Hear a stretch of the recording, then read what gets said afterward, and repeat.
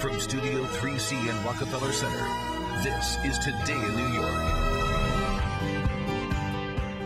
And we are back with this week's edition of The Good Fight with me, Pat Battle. And this morning, I want to introduce you to a New Jersey podiatrist who's helping people in need one step at a time. He's turned a very common patient complaint into a true act of kindness. When the foot actually does flatten out, what you're getting is you're getting a pulling of these tendons.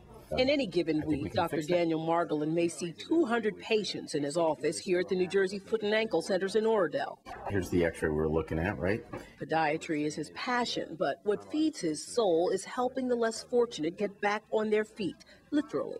Everybody's depending on the government to do something. You know what I mean? And you know what? Why don't we just do it ourselves? You know, why don't we just work together? I mean, build a community. Look, they're not even used. And here in his office, they do it one step at a time. Because winter's toughest on the feet, every year from September to March, the doctor puts a drop box in the lobby where anyone and everyone can drop off unwanted shoes, in good condition, of course.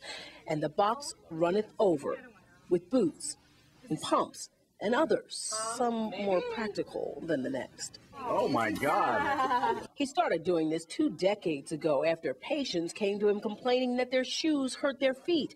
And if the shoe doesn't fit, he says, someone else can wear it. I said, why don't you bring them over to me? We'll figure out something to do with them. They just kept coming.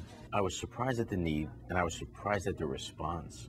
The doctor's collected more shoes over the years than he can count. And what does he do with them? Well, he donates them by the hundreds to organizations like the Red Cross and the Salvation Army, and sometimes to one fortunate soul who happens to be in the right place at the right time. We had a gentleman who came in, his son, believe it, had been in jail, and he came in desperate because his son had just gotten a job. Somebody had just dropped off a brand new size 13 men's work boot, and the guy started crying. A lot of people that can't go out and actually afford to buy expensive shoes, so they can come here and get the good quality for less money, and it works out. Matter of fact, there's some people they shop for other people. They might not even need it, but they know somebody who need it, and they buy for them.